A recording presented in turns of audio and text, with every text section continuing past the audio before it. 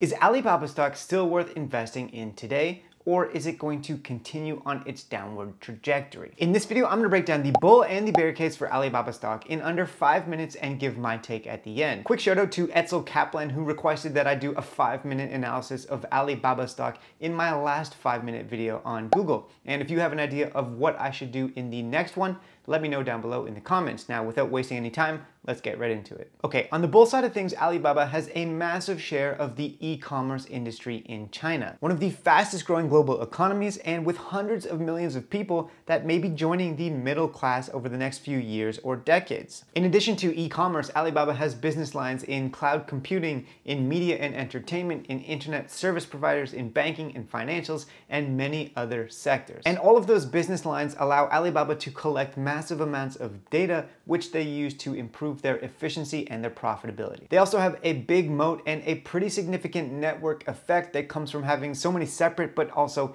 interrelated and interconnected business lines. In terms of the financials, Alibaba had massive revenue of almost $250 billion in 2021, of which over 20 billion was profit. The growth projections for the company are looking strong, and in 2021 they also saw a net increase in cash of over $20 billion. So the financial position of the company is quite solid. Some big name investors are very bullish on Baba stock, including Charlie Munger, who famously doubled down recently on the company. And also a lot of professional analysts maintain either a hold or a buy rating for the company. And taking a loan, that doesn't necessarily mean that the stock price is going to go up, but it's certainly more bullish than if the situation was flipped. After the pretty significant price drop in the company's stock over the past year or so, Alibaba is looking much more attractive on a valuation basis. The price to sales ratio is hovering just below 2.0, which is crazy for a fast growing tech company, and the price to book ratio is around 1.5, which means they're barely valued more than the total of cash and other assets that they have on the books. Now, despite all these positives, there's definitely a bear side to this argument, so let's dig into that now. The first point to mention is that growth appears to be slowing. Top line revenue growth for 2021 was actually around 10% year over year, which is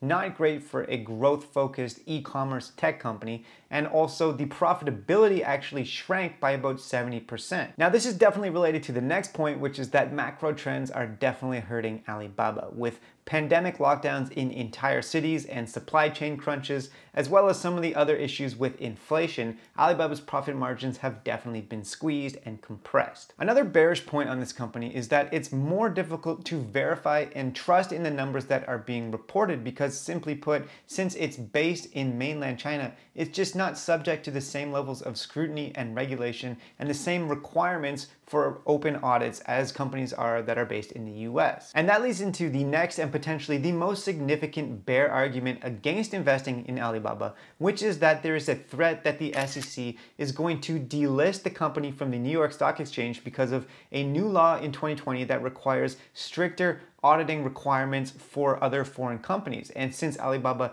doesn't yet meet those standards, if they don't comply, there is the risk that they could be delisted from the New York Stock Exchange. Now, if that happens, it doesn't necessarily mean that the company is going under and it's still gonna be traded in other foreign markets, for example, on the Hong Kong Stock Exchange, but it does mean that it will be much more difficult for North American investors to purchase shares of Alibaba stock, and also that's probably going to drive down the demand, potentially decreasing the price as a result. Finally, there's also a pretty significant geopolitical risk that comes as a result of the Chinese Communist Party having the potential to rug pull all of the people that invest in Alibaba. We've seen glimpses of this in the past, for example, with the Ant IPO that was supposed to happen until the CCP stepped in. And on honestly, you never really know. When you invest in companies based in China what's going to happen. It's a pretty significant geopolitical risk. Now, of course, on the other hand, if the SEC does not delist Alibaba from the New York Stock Exchange and if US China relations improve over the next few years,